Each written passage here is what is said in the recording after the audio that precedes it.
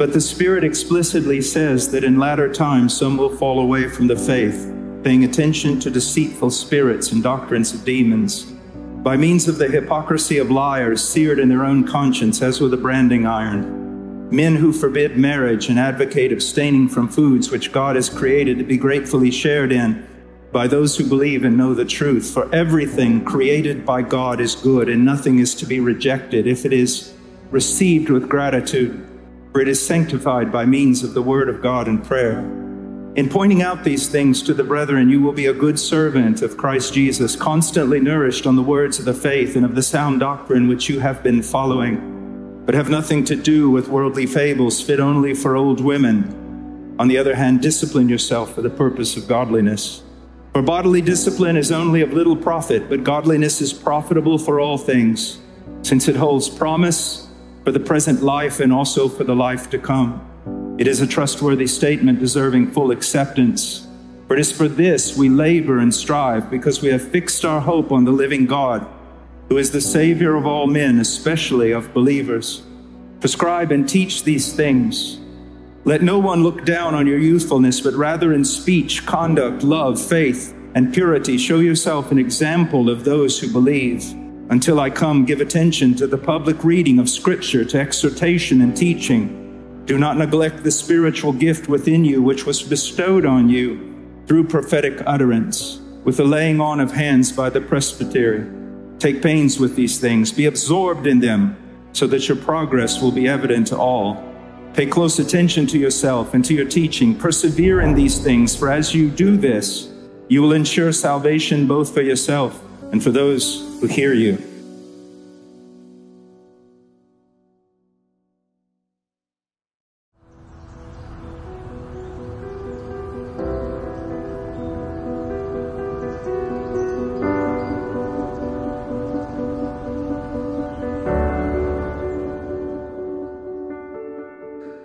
We are moving into a time in which the gospel and those who preach it are an ever increasing scandal, not only to the world, but also to many who associate themselves with Christ and the church.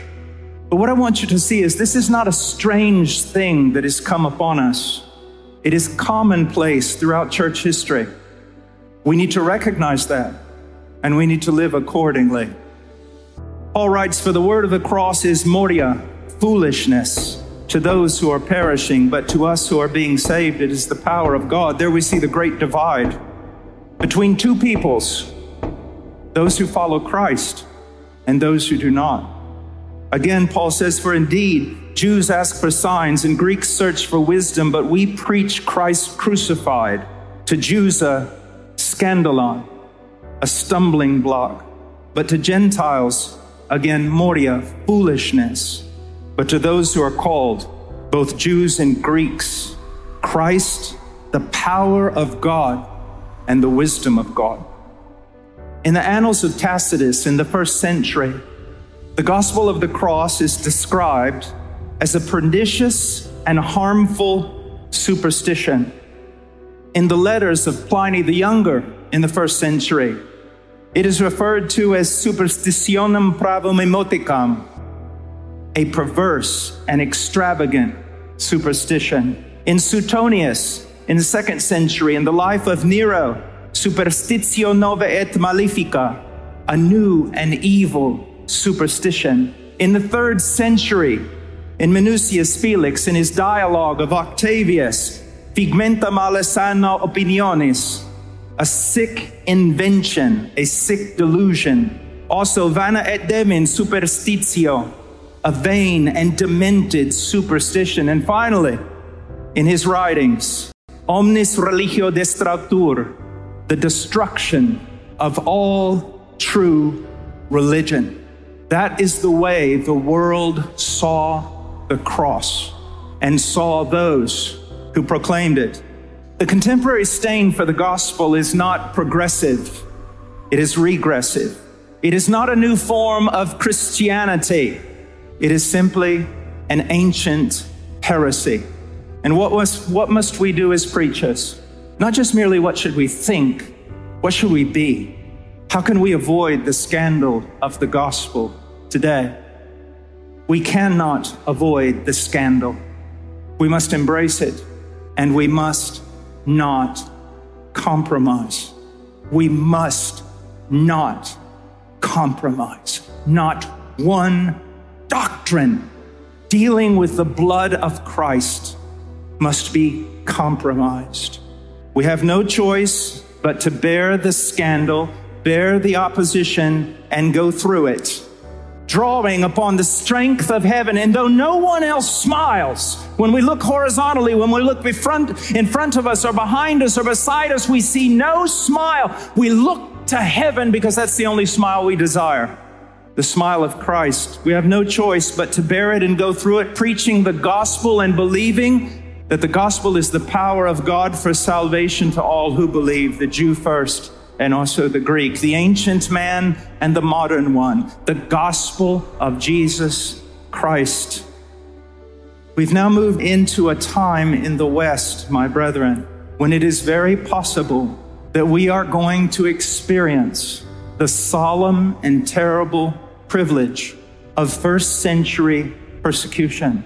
But if we hold our course, if we refuse to compromise, we may also experience the first century power of the cross and the power of the Holy Spirit. You say, Well, I don't know. I don't know if I'll be able to bear it. I know you will be able to bear it if you belong to Him.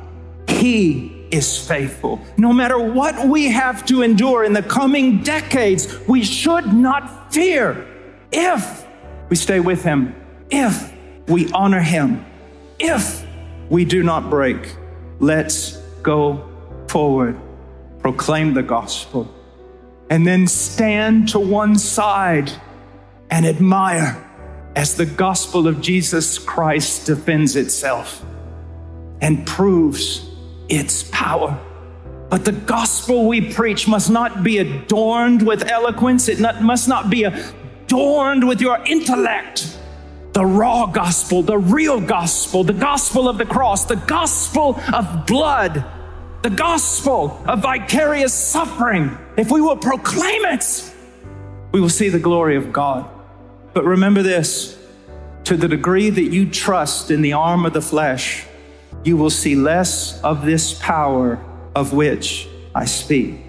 And the more you abandon all these carnal trappings of modern evangelicalism, the more you will behold the power of God, a preacher standing alone, defying the world with a message of love. Christ came to save sinners, among whom I am chief. If the church is weak, it's not the fault of politicians. The church is weak where Christ's ministers are weak. And I say that to you as a man looking in the mirror I do not have to run to politicians to find the problem. I do not have to run to universities, to academia to find the problem. The problem are the ministers of Christ that have dressed themselves in the armor of Saul and laid aside the smooth stones of the gospel. And because of that, they can slay no giants. Conniving, pragmatic, always looking for strategy and a method and a new way. The Spirit is saying, present tense, over and over and over, that in the latter times some will fall away from the faith, some will fall away. So do not tremble when there's even a mention of a possibility of persecution. Know this the true church has always been in a battle, it has always been under attack. Always, always, always. In our day of irrationality, the dethronement of logic and the law of non contradiction, people can declare themselves to be Christian, even evangelical, even reformed, while denying some of the very fundamental doctrines of the gospel of Jesus Christ. This is the culture we live in. The positive late 19th century atheist would be ashamed of our culture. Our culture is like those in Hosea that contend with the priest. Our culture is like the harlot of Proverbs. She eats forbidden fruit and she wipes her mouth and then she brazenly says, I've done nothing wrong. How are you going to deal with that as a minister of Christ? What kind of power does your eloquence have to change the heart of people like this? And all your strategies and gimmicks and parties and parades. What can they do against something like this? You need to understand the heart of man is like Jericho. It is tightly shut up. No one comes out and no one goes in. And so is this culture. And you are not going to be able to carry out the work of Christ. You are not going to be able to advance the cause of the gospel with your silly little toys. We must take up the weapons of our warfare, and they are few, but they are mighty unto God's. What are they? The proclamation of the Word of God, the fearless, bold proclamation of the Word of God. What else? Intercessory prayer.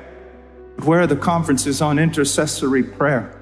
On men who hold the night watch, men who stand in the gap, men who wear themselves out holding on to the horns of the altar, men who wrestle with God for their own souls, for the souls of their people, and for the souls of a nation. Where are they? If you're not a man of prayer, all your theology, they're just marbles of little boys. Prayer. What else? Godliness, holiness, separateness. Young man said, I would, I would give anything for the Lord to use me, then make yourself usable. Throw yourself into the scriptures until when they cut your veins, you bleed the Bible. Throw yourself on your knees.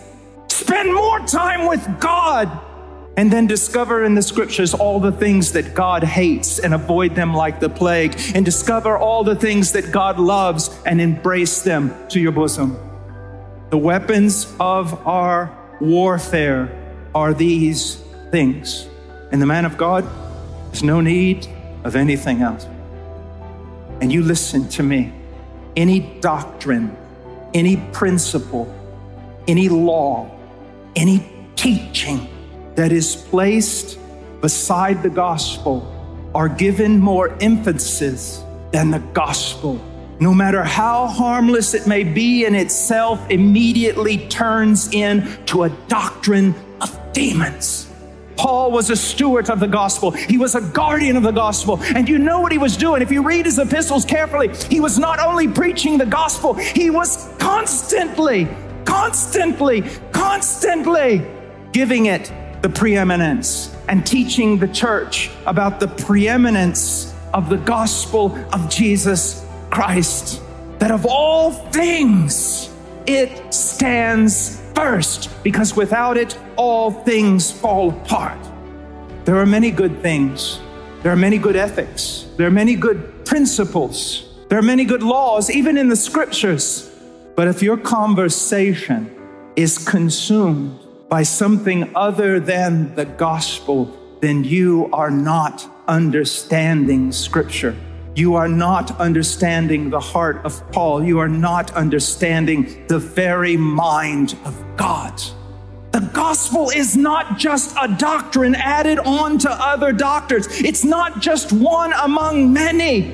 It is the greatest manifestation of the attributes, the person of God that has ever been given or will ever be given. If you right now were standing in the place of Isaiah in Isaiah 6, if you were very beholding the very face of God upon the throne, you could not understand him unless you also understand the gospel because it is there he is revealed. The greatest of all questions the harmony of the attributes of God in the contrivance and accomplishment of our redemption because it is in the gospel of Jesus Christ that the divine dilemma is solved, that the problem of every theologian, philosopher, and thinker is finally answered. How can God be a just God and show mercy to wicked men?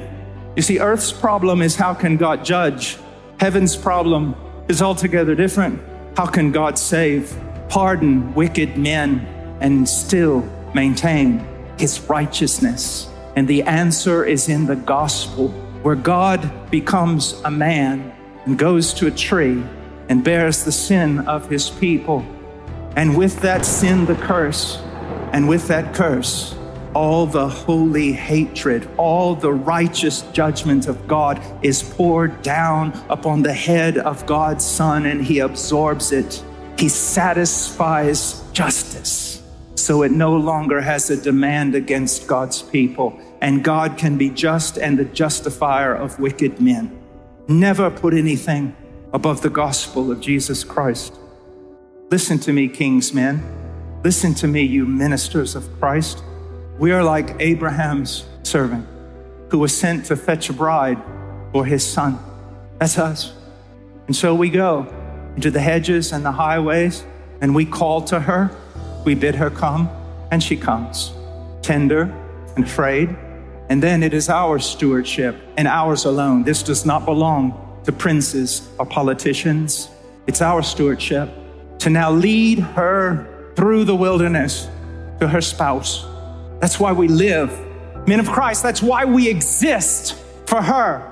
And every time we see a doubt in her eyes, we take one more jewel of the gospel and we place it in her hand and we say, He is worth it. And every time she becomes afraid going through this terrible wilderness with all its monsters, and she wants to turn back, we pull out another jewel of the gospel and we lay it in her hand and we say, is worth it.